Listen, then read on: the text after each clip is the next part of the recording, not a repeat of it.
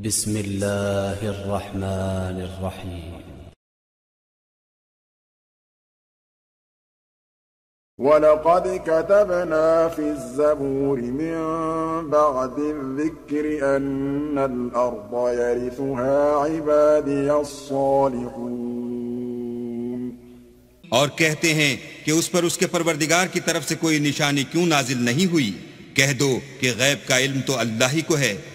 سو تم انتظار کرو، میں بھی تمہارے ساتھ انتظار کرتا ہوں۔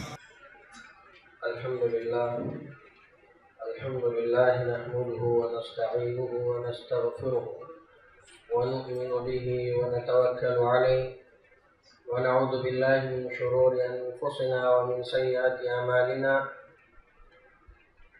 من يهده الله فلا مضل له ومن يضلله فلا هادي له وأشهد أن لا إله إلا الله وأشهد أن محمدا عبده ورسوله. أما بعد فإن خير الحديث كتاب الله وخير الحدي هدي محمد صلى الله عليه وسلم وشر الأمور محدثاتها وكل محدثة بدعة وكل بدعة ضلالة وكل ضلالة في النار. أعوذ بالله من الشيطان الرجيم بسم الله الرحمن الرحيم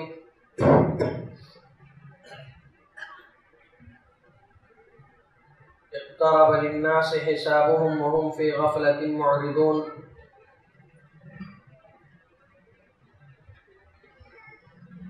محترم حاضرین جمعہ، بزرگوں اور نوجوان ساتھیوں تمام قسم کی تعریف و توصیف، کبریائی اور بڑائی، خالق کے کائنات، مالک کے عرض و سما کے لیے لائق و زیبا ہے۔ جس خالق و مالک نے ہم تمام کو پیدا فرمایا، نیز اسی حادی برحق نے ہمیں رشد و ہدایت، ہماری رشد و ہدایت کے لیے انبیاء علیہ السلاۃ والسلام کے سلسلے کو مبعوث کیا، جس سلسلے کی آخری گھڑی جناب محمد الرسول اللہ صلی اللہ علیہ وسلم ہے۔ سامعین کرام، جیسا کہ گزشتہ جمعہ میں نے آپ لوگوں کے سامنے امام مہدی سے متعلق بہت ساری وضاحتیں کی کہ ان کا ظہور کہاں سے ہوگا، کس حالت میں ظہور ہوگا۔ اس وقت امت محمدیہ کی کیا حالت ہوگی؟ زمین پر ظلم و ستم کا دور دورہ ہوگا۔ ایسے وقت میں آپ ظاہر ہوں گے۔ اسی طریقے سے آپ کی صفات کہ آپ کا حلیہ، آپ جسامت و قدامت کے اعتبار سے کس طرح دکھائی دیں گے۔ اور آپ کی بہت ساری وہ صفات جو احادیث میں وارد ہوئی ہیں۔ یہ ساری چیزوں کو میں نے آپ کے سامنے ذکر کیا ہے۔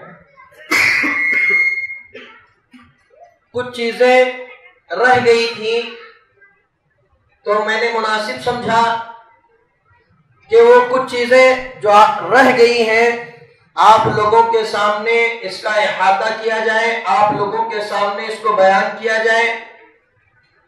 جس میں سب سے اہم بات یہ ہے کہ مہدویت کے جھوٹے دعوے دار امام مہدی کے نام سے جن لوگوں نے اپنے آپ کو امام مہدی کہا اور مہدی ہونے کے جھوٹے دعوے کیے ہیں، ان کی ایک لمبی فہرست محدثین نے، علماء کرام نے بیان کی ہے۔ ہم ان میں سے چند ایک باتیں آپ کے سامنے رکھیں گے۔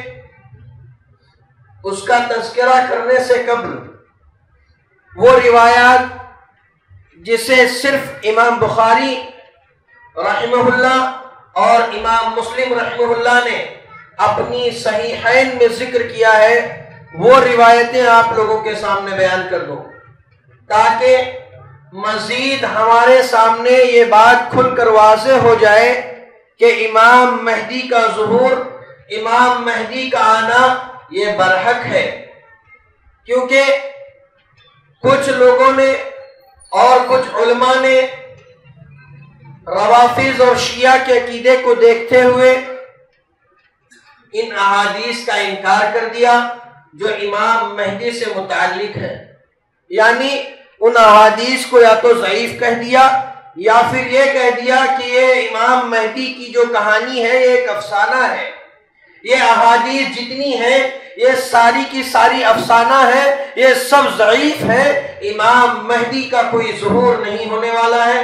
لہذا شیعہ کی تردید میں کچھ علماء سلف کے عقیدے سے، سلف کے منہج سے، ہمارے اہل سنت والجماعت کے عقیدے سے ہٹ گئے اور ان لوگوں نے تشدد میں آ کر کے امام مہدی سے متعلق جو احادیث وارد ہوئی ہیں، ان کا انکار کر ڈالا۔ تو لہذا اعتدال والا راستہ، منہج سلف، کتاب و سنت کا راستہ، سلف صالحین کا راستہ، یہ ہے کہ امام مہدی کا ظہور ہوگا اور اس سے متعلق جو احادیث وارد ہوئی ہیں، ہم اسے اللہ کے نبی صلی اللہ علیہ وسلم کی پیشن گوئیاں مانتے ہیں۔ ہم اس پر ایمان لاتے ہیں کہ امام مہدی کا ظہور ان حالات میں اور اس طریقے سے ہوگا جیسا کہ صحیح احادیث میں اللہ کے نبی نے اس کی خبر دی ہے۔ تو چلیے، امام مہدی سے متعلق وہ احادیث جسے متفق علیہ روایت کی گئی، جو متفق علیہ ہے اس کو آپ لوگوں کے سامنے بیان کر دو۔ پہلی حدیث، وعن ابی حریرہ قال قال رسول اللہ صلی اللہ علیہ وسلم کیف انتم اذا نزل فیکم ابن, ابن مریم ابن مریم فیکم و امامکم منکم اس حدیث کو امام بخاری نے اور امام مسلم رحمہ اللہ نے ذکر کیا ہے۔ راوی حدیث ابو حریرہ بیان کرتے ہیں کہ اللہ کے نبی صلی اللہ علیہ وسلم نے فرمایا۔ کیا فرمایا؟ کیف انتم اذا نزل ابن مریم فیکم؟ کہ اس وقت تمہارا حال کیسا ہوگا؟ اس وقت تمہاری حالت کیسی ہوگی؟ جبکہ ابن مریم عیسیٰ علیہ السلام نازل ہوں گے۔ عیسیٰ علیہ السلام نازل ہوں گے۔ وہ امامکم منکم اور تمہارے امام بھی تمہارے اندر موجود ہوں گے۔ عیسیٰ علیہ السلام نازل ہوں گے اور اس وقت تمہارے امام بھی موجود ہوں گے۔ اس وقت تمہاری کیفیت کیسی ہوگی؟ تمہارے حالات کیسے ہوں گے؟ امام حکم سے مراد محدثین نے لکھا کہ اس سے مراد امام مہدی ہے۔ امام مہدی سے متعلق یہ حدیث آئی ہوئی ہے کہ امام مہدی کی موجودگی میں عیسیٰ علیہ السلام کا نزول ہوگا۔ لہذا اس حدیث سے امام مہدی کے نزول اور امام بخاری اور مسلم کی روایت سے معلوم ہوتا ہے کہ امام مہدی کا ظہور، امام مہدی کا آنا برحق ہے۔ ایسی ہی دوسری روایت، وعن جابر بن عبداللہ قال سمعت رسول اللہ صلی اللہ علیہ وسلم يقول لا تضال طائفة من امتی يقاتلون على الحق ظاهرين الى يوم القيامة. قال، فينزل عيسى ابن مريم، فيقول أميرهم، تعال صلي لنا. فيقول، ألا، لا، إن بعضكم على بعض امراؤكم تكرمة الله هذه الأمة. اس حدیث کو بھی امام بخاری نے اور امام مسلم رحمہ اللہ نے بیان کیا ہے۔ راوی حدیث جابر بن عبداللہ رضی اللہ تعالیٰ عنہ کہتے ہیں کہ میں نے اللہ کے نبی صلی اللہ علیہ وسلم کو فرماتے ہوئے سنا ہے کہ اللہ کے نبی فرما رہے تھے، لا تبال طائفت من امتی، میری امت کا ایک گروہ برابر حق پر قائم رہے گا۔ ایک گروہ حق پر برابر قائم رہے گا۔ یقاتلون علی الحق اور وہ لڑائی کرتا رہے گا حق کو لے کر کے۔ حق بات کو لے کر کے ایک جماعت، ایک گروہ ایسا ہوگا جو برابر لڑائی کرتا رہے گا۔ اور ظاہرین الى یوم القیامہ، قیامت تک وہ برابر باقی رہے گا۔ اور دوسری حدیث کے الفاظ ہیں۔ اللہ کے نبی صلی اللہ علیہ وسلم فرماتے ہیں کہ دوسرے لوگ، اس کے مخالفین، اسے کوئی نقصان نہیں پہنچائیں گے۔ ملامت کرنے والوں کی ملامتیں، اسے کوئی نقصان نہیں دیں گی۔ اور اللہ کے نبی صلی اللہ علیہ وسلم آگے فرماتے ہیں فَيَنزِلُ عِيسَى بْنُ مَرْيَمْ، عِيسَى بْنُ مَرْيَمْ، اور اس وقت عیسیٰ بن مریم علیہ السلام نازل ہوں گے۔ عیسیٰ علیہ السلام نزول فرمائیں گے۔ اور اس وقت ان کے امیر جو ہوں گے، کہیں گے عیسیٰ علیہ السلام سے، آئیے اور ہماری امامت کیجیے۔ آئیے اور ہماری امامت کیجیے۔ لیکن عیسیٰ علیہ السلام کہیں گے نہیں۔ اللہ تبارک و تعالی نے اس امت کے اندر ایک دوسرے کو امیر بنایا ہے، ایک دوسرے کو عزت بخشی ہے، لہٰذا میں تمہاری امامت نہیں کر سکتا۔ اللہ اکبر۔ اس حدیث سے بھی یہ معلوم ہوتا ہے کہ امام مہدی کی موجودگی میں عیسیٰ علیہ السلام نازل ہوں گے اور امام مہدی امامت کے مسلح پر کھڑے ہو کر کے کہیں گے، تعال صلی لنا، آؤ اور ہماری نماز پڑھاؤ، آؤ ہماری امامت کرو۔ لیکن عیسیٰ علیہ السلام امامت کرنے سے انکار کر دیں گے۔ تو اس حدیث سے بھی محدثین نے لکھا کہ امیر سے مراد امام مہدی ہے اور دوسری حدیث میں یہ ہے، وعن جابر بن عبد الله قال قال رسول الله صلى الله عليه وسلم سلم، يكون في آخر أمتي خليفة يحسي المال حسيا، لا يعده عددا۔ اللہ کے نبی صلی اللہ علیہ وسلم فرماتے ہیں کہ میری امت کے آخر میں ایک خلیفہ ہوگا۔ میری امت کے آخر میں ایک خلیفہ ہوگا۔ اور وہ خلیفہ لوگوں کے اندر مال کو ایسے تقسیم کرے گا، گویا کہ اس مال کا کوئی حساب و کتاب نہیں۔ یعنی دھڑلے سے بے دھڑک ہو کر کے مال کی فراوانی کو، مال کو تقسیم کیا جائے گا، مال کو بانٹا جائے گا، مال کو جمع نہیں کیا جائے گا۔ اس حدیث کو بھی امام بخاری نے اور امام مسلم رحمہ اللہ نے ذکر کیا ہے۔ تو لہٰذا ان ساری احادیث سے امام مہدی سے متعلق یہ احادیث آئی ہوئی ہے جسے امام بخاری نے اور امام مسلم رحمہ اللہ نے بیان کیا ہے۔ تو لہٰذا جو حضرات یا جو علماء کرام ان احادیث کا انکار کرتے ہیں، انہیں سوچنے کی بات ہے کہ جسے امام بخاری نے، امام مسلم نے روایت کیا ہو، جن کتاب کے تعلق سے امت محمدیہ کا یہ اجماع ہے کہ بخاری اصح القتب بعد کتاب اللہ، صحیح البخاری۔ اس دنیا کے اندر قرآن مجید کے بعد سب سے زیادہ صحیح کتاب اگر کوئی ہے تو بخاری شریف ہے۔ وہ بخاری ہے اور اس حدیث کو امام بخاری روایت کر رہے ہیں۔ امام مسلم کے کتاب مسلم رحم مسلم کے تعلق سے محدثین نے لکھا لکھا، ما تحت عدیم السمائی اصحمی صحیح مسلم کہ اس روئی زمین پر، آسمان کے نیچے، اس زمین کے اوپر مسلم سے زیادہ صحیح کتاب کوئی نہیں ہے۔ تو لہٰذا معلوم یہ ہوتا ہے کہ جن احادیث کو امام بخاری اور امام مسلم نے لکھا ہے، اصول کا، اصول بھی یہی ہے، محدثین کا یہ اصول ہے کہ جس حدیث کو امام بخاری نے اور امام مسلم نے روایت کیا ہو، یہ سب سے اعلیٰ درجے کی حدیث مانی جاتی ہے۔ تو لہٰذا یہ امام مہدی سے متعلق متفق علیہ روایت میں نے آپ لوگوں کے سامنے بیان کی۔ اور بعض محدثین اور بعض علماء کرام یہ کہتے ہیں کہ مہدی کے تعلق سے امام مہدی کو لے کر کے جتنی احادیث روایت کی گئی ہیں، جتنے احادیث وارد ہوئی ہیں، ان سارے احادیث کو اگر رکھا جائے تو مانوی اعتبار سے تواتر کی حد کو پہنچتی ہے متواتر درجے کو یہ احادیث پہنچ جاتی ہیں یعنی درجے کے اعتبار سے جو جو حدیث متواتر ہوتی ہے، جسے بار بار بیان کیا جاتا ہے، وہ صحیح درجے میں آ جاتی ہے صحیح کی ایک قسم ہے متواتر۔ تو لہذا محدثین کہتے ہیں کہ متواتر درجے کو پہنچتی ہے ایسے ہی وہ محدثین جنہوں نے، یا وہ محدثین کرام جنہوں نے اپنی کتابوں کے اندر امام مہدی سے متعلق احادیث کو جمع کیا ہے، آپ سن کر کے تعجب کریں گے۔ سنن اربا بخاری مسلم کو چھوڑ کر جو کتب ستہ کہلاتی ہیں، سنن اربا انہیں کہا جاتا ہے۔ سنن اربا ابو ابو داؤد ترمیزی نسائی، ابن ماجہ، یہ چار کتابیں ایسی ہیں جس کے اندر امام مہدی سے متعلق احادیث وارد ہوئی ہیں۔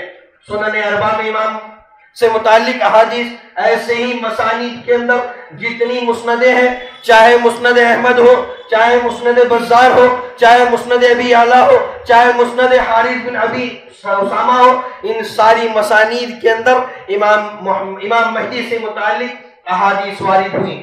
ایسے ہی مستدرک حاکم میں امام امام مہدی سے متعلق احادیث آئی ہیں۔ مصنف ابن ابی شہبہ میں، صحیح ابن خزیمہ میں یہ ساری وہ احادیث کی کتابیں ہیں جس میں امام مہدی سے متعلق احادیث وارد ہوئی ہیں۔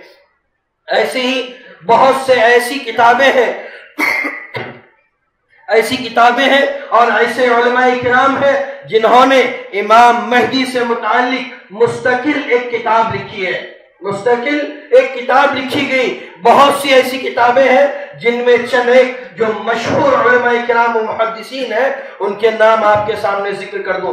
حافظ ابو بکر ابن ابی خیسمہ یہ ایک بہت بڑے محدث ہے انہوں نے بھی امام مہدی سے متعلق کتاب لکھی۔ ایسے ہی علامہ سیوتی رحمہ اللہ نے بھی امام مہدی سے متعلق ایک خاص کتاب لکھی۔ اسی طریقے سے امام ابن کثیر رحمہ اللہ نے البدایہ اور نہایہ کے اندر ایک مکمل جز، ایک مکمل کتاب مہدی علی، مہدی سے متعلق لکھی، ایسے ہی ابن حجر مکی نے لکھی، امام شوکانی نے لکھی، ایسے ہی نواب صدیق حسن خان رحمہ اللہ نے بھی امام مہدی سے متعلق کتاب لکھی ہے۔ یہ محدثین، یہ بڑے بڑے علماء کرام، جنہوں نے امام مہدی کے عقیدے کو، امام مہدی سے متعلق جو سارے عقائد ہیں، اسے اپنی ایک مستقل کتاب کی شکل میں جمع کیا ہے تاکہ امت گمراہی پر نہ جمع ہو۔ لہٰذا امام مہدی کی حدیث کا انکار کرنے والوں میں جو سب سے زیادہ جن کا نام آتا ہے، وہ علامہ ابن خلدون ہے علامہ ابن خلدون نے بہت بڑی مقدمہ ابن خلدون کے نام سے تقریباً اٹھارہ بیس جلدوں میں انہوں نے کتاب لکھی ہے اور اس میں تاریخی واقعات سندوں کے ساتھ بیان کیے گئے ہیں۔ اس میں انہوں نے اس بات کا ذکر کیا کہ جتنی احادیث مہدی سے متعلق ہیں، وہ ضعیف ہے جبکہ بہت بڑے محدث اور بہت بڑے عالم مانے جاتے ہیں۔ لیکن انہوں نے امام مہدی سے متعلق آنے والی احادیث کو ضعیف قرار دیا اور اس کا انہوں نے انکار کر دیا۔ تو لہٰذا ہماری امت کے اندر بھی بہت سے ایسے لوگ ہیں جو امام مہدی سے متعلق عقیدہ یہ رکھتے ہیں کہ ایک افسانہ ہے، یہ ایک جھوٹی کہانی ہے جسے لوگوں نے گھڑ لی ہے روافیز نے گھڑا ہے، شیعہ حضرات نے گھڑی ہے اور اس طریقے کے بہت سے جو رافیزی ہیں، ان لوگوں نے الگ الگ کہانیاں بیان کی ہیں۔ وہ ایک اپنی جگہ ہے کہ رافیزیوں نے، شیعہ نے امام مہدی سے متعلق بہت سے جھوٹے مہدیوں کو کھڑا کیا، بہت سی کہانیاں گھڑی۔ لیکن سلف کا عقیدہ ایک دوسری طرف ہے، وہ یہ کہ امام مہدی سے متعلق جو احادیث آئی ہیں، اس پر ایمان لایا جائے۔ اب ایک اہم بات یہ ہے کہ امام مہدی کا جھوٹا دعویٰ کرنے والے، ان کی ایک لمبی فہرست علماء کرام نے بیان کی ہے، جسے آپ لوگوں کے سامنے لانا، ان کے ناموں کا تذکرہ آپ کے سامنے آنا نہایت ضروری ہے۔ تاکہ ہمیں یہ معلوم ہو کہ امام مہدی کے نام پر کن لوگوں نے جھوٹا دعویٰ کیا کن لوگوں نے مہدویت کا جھوٹا دعویٰ کر کے امت کو گمراہ کرنے کی کوششیں کی، ایسے بہت سے نام ہیں جنہیں میں آپ کے سامنے ذکر کرتا چلوں۔ سب سب سے پہلے علی رضی اللہ تعالیٰ عنہ کے فرزند محمد، جو کہ اپنی ماں حنفیہ کی جانب منصوب ہو کر محمد بن حنفیہ کہلائے ان کے تعلق سے شیعہ حضرات نے مہدی کا دعویٰ کیا کہ محمد بن حنفیہ علی رضی اللہ تعالیٰ عنہ کے فرزند یہ مہدی علیہ السلام ہے۔ لہٰذا انہوں نے شیعہ اور رافیزیوں نے، شیعہ نے علی نے محمد بن حنفیہ کو مہدی ثابت کرنے کی کوشش کی۔ دیکھیے سیرت و اعلام النبلہ کے اندر اس کا مکمل تذکرہ آپ کو ملے گا۔ ایسے ہی مہدی کا جھوٹے دعوے دار صالح بن طریف ہے۔ اس نے مہدیویت کا جھوٹا دعویٰ کیا، جسے امام ابن خلدون نے اپنی کتاب کے اندر ذکر کیا ہے کہ اس نے مہدیویت کا جھوٹا دعویٰ کیا اور بعد میں اس آدمی نے نبوت کا بھی دعویٰ کیا، نبی ہونے کا بھی دعویٰ کیا۔ محمد بن عبداللہ الحسنی، جو نفس زکیہ کے نام سے لقب سے مشہور ہے، اس نے بھی مہدی ہونے کا دعویٰ کیا اور بادشاہ ابو جعفر منصور کی سے بغاوت کی اور قتل کر دیا گیا۔ محمد بن عبداللہ الحسینی جو نفس زکیہ کے نام سے مشہور ہے، یہ قتل کیا گیا۔ اس نے بھی مہدی ہونے کا دعویٰ کیا۔ یہ سارے مہدی ہونے کے دعوے دار رہے۔ انہی میں سے ایک اور عبداللہ بن عبداللہ بن معاویہ بن عبداللہ بن جعفر بن ابی طالب الحاشمی القرشی، اس نے بھی مہدی ہونے کا دعویٰ کیا۔ یہ بھی مہدی ہونے کا دعوے دار تھا۔ ایسے ہی ابو جعفر، عبداللہ منصور کے بیٹے محمد مہدی، اس نے بھی اپنے آپ کو مہدی قرار دیا۔ کہ میں امام مہدی ہوں۔ ایسے ہی محمد بن حسن بن علی بن محمد بن علی اور رضا بن موسیٰ القاظم، اس نے بھی یہ موسیٰ اپنے اپنے آپ کو مہدی ہونے کا دعویٰ کیا اور اسنا شریعہ جو شیعہ کا ایک فرقہ ہے، اس نے اسے بڑھاوا دیا اور بہت آگے تک اس کو لے گئے اور بہت سارے فسادات اس نے مچائے۔ بہرحال یہ بھی مہدیت مہدیت کا دعوے دار رہا۔ ایسے ہی مہدیویت کے دعوے دار میں ابو عبداللہ محمد بن عبداللہ بن تومرت البربری المسعودی۔ المسمودی اس نام سے اس نے بھی دعوے دار کیا، اس نے بھی دعویٰ کیا کہ میں مہدی ہوں اور سن پانچ سو چوبیس ہجری میں مر گیا۔ اور مغربی علاقے میں اس نے ایک حکومت بنا لی اور سخت خون ریزی اور خون خرابہ کرتا رہا، جو اس کے ہاتھ پر بیت نہ کرتا، اسے قتل کرتا اور ایسے ہی اس نے امت محمدیہ میں ایک بڑا فتنہ و فساد مچا دیا۔ ایسے ہی مہدویت کے دعوے دار میں عبید اللہ بن العبید اللہ یہ بھی ایک مہدویت کا دعوے دار رہا۔ یہ فاطمی جو شیعہ حکومت رہی، فاطمی حکومت جس کو کہا جاتا ہے، یہ اس کا بانی تھا۔ عبید اللہ بن العبید اللہ یہ فاطمی شیعہ حکومت کا بانی تھا، اس نے اس کی حکومت دو سالوں، دو سو سالوں تک مصر میں چلتی رہی۔ آخر کار صلاح الدین ایوبی نے اس کی حکومت کو، فاطمی حکومت کو ختم کر دیا۔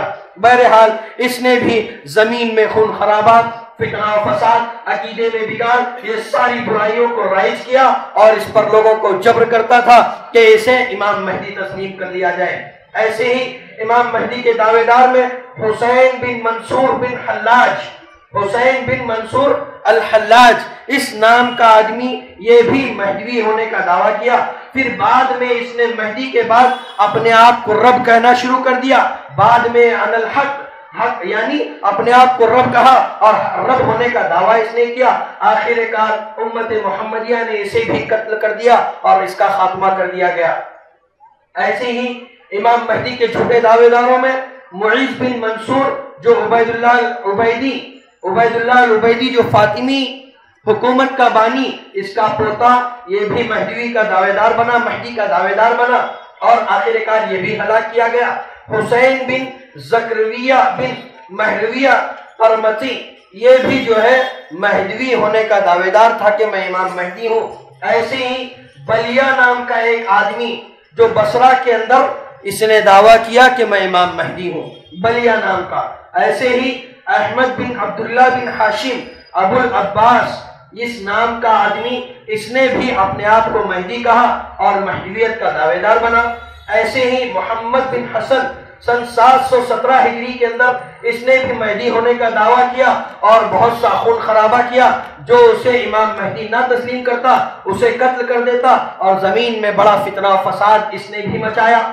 تو یہ امام مہدی کے دعوے دار، ان میں سے ایک ہندوستان کے اندر محمد بن یوسف جون پوری محمد بن یوسف جون پوری اس نے بھی مہدی ہونے کا دعویٰ کیا۔ اس کے اوپر کتاب لکھی گئی الحدیت المہدویہ۔ ایک عالم نے جون پوری عالم نے اس کے رد میں کتاب لکھی الحدیت المحدویہ، اور اسے امام علامہ نواب صدیق حسن خان رحمہ اللہ نے اس کتاب کی تعریف کرتے ہوئے کہا کہ واقعی میں اس کتاب نے اس کا رد کر دیا۔ محمد بن حسن جون پوری یہ ہندوستانی آدمی ہے جس نے اپنے آپ کو مہدی کہا اور مہدویت کا دعویٰ کیا۔ ایسے ہی محمد بن احمد بن عبداللہ، محمد محمد احمد بن عبداللہ صوفی، یہ سوڈان کے اندر دعویٰ کیا کہ میں محمد بن میں امام مہدی ہوں۔ لہذا اس نے بھی یہ بھی بعد میں قتل کر دیا گیا۔ ایسے ہی بہائی فرقہ بہائی فرقہ جانتے ہو آپ لوگ؟ ایک بہائی فرقہ ہے جس کا ٹیمپل یا جس کا مندر دہلی کے اندر بہت مشہور ہے۔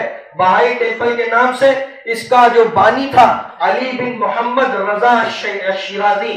علی بن محمد رضا شیرازی اس آدمی نے بھی اپنے آپ کو پہلے امام مہدی کہا، جب لوگوں نے اس کی نہ مانی تو بہائی نام سے ایک فرقہ اس نے ایجاد کیا۔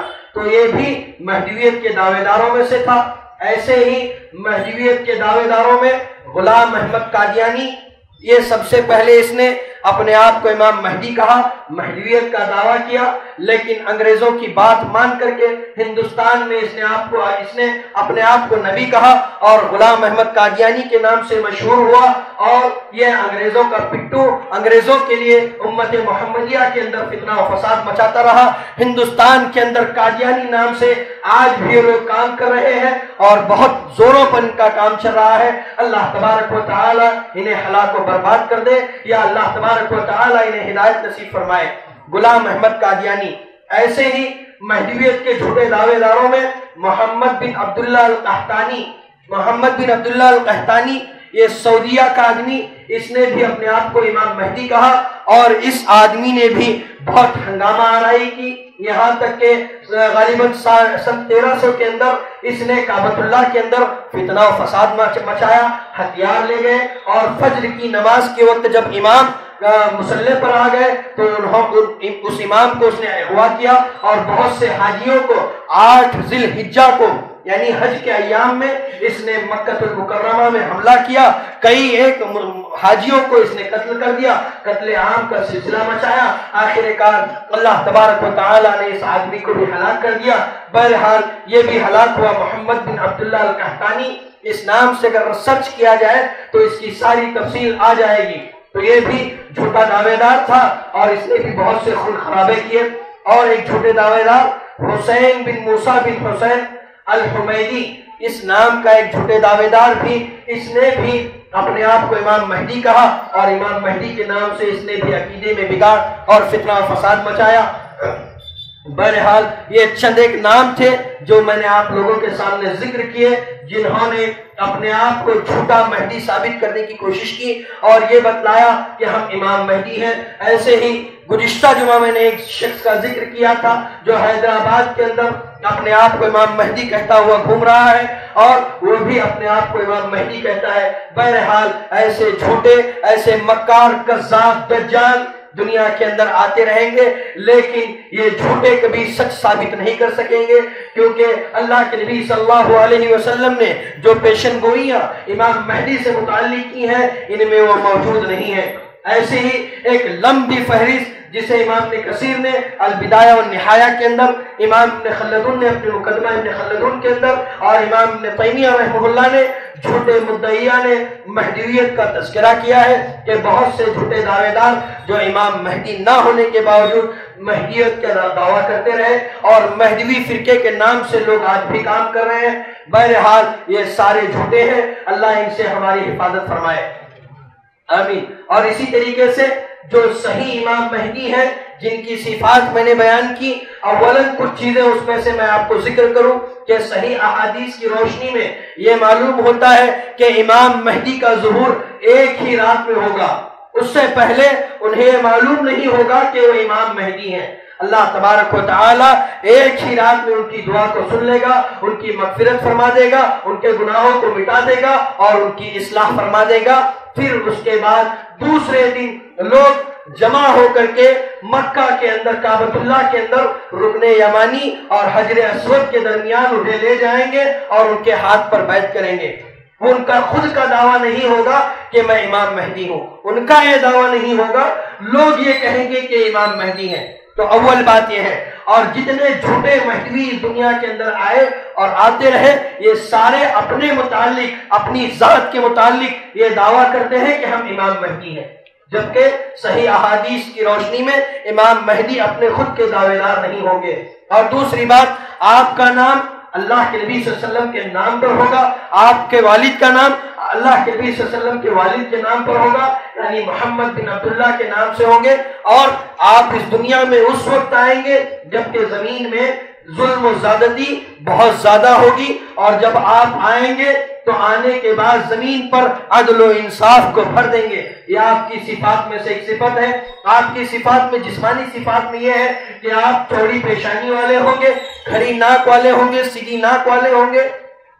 یہ آپ کی صفات میں سے، آپ کے حلیے میں سے ہے۔ اور آپ جو اس دنیا میں حکومت کریں گے، پانچ سال یا سات سال یا زیادہ سے زیادہ نو سال جس کا کہ حدیثوں میں تذکرہ آیا ہوا ہے سب سنین اور تسع سنین یا نو سال یا سات سال اس زمین میں آپ حکومت کریں گے۔ اور سب سے بڑی علامت یہ ہے کہ آپ کے ظہور کے بعد، آپ کے ظاہر ہو جانے کے بعد امام عیسیٰ علیہ السلام کا نزول ہوگا، آپ نازل ہوں گے۔ جتنے جھوٹے دعوے دار مہدویت کے آئے، کسی کے دعوے کے بعد عیسیٰ کا نزول نہیں ہوا۔ لہٰذا عیسیٰ علیہ السلام کا نازل نہ ہونا اس بات کی دلیل ہے کہ یہ جھوٹے دعوے دار ہیں۔ لہٰذا میں آخر میں اللہ سے دعا کرتا ہوں کہ رب العالمین، ہمیں کہنے اور سننے سے زیادہ عمل کی توفیق عطا فرمائے۔ اللہ رب العالمین، ہمیں صحیح عقیدے اور منہج پر قائم و دائم رکھے۔ اللہ رب العالمین، جو عقیدے میں خرابی اور بگاڑ آیا ہوا ہے، اللہ اس کو دور فرمائے۔ رب العالمین، جب تک ہمیں اس دنیا میں رکھے،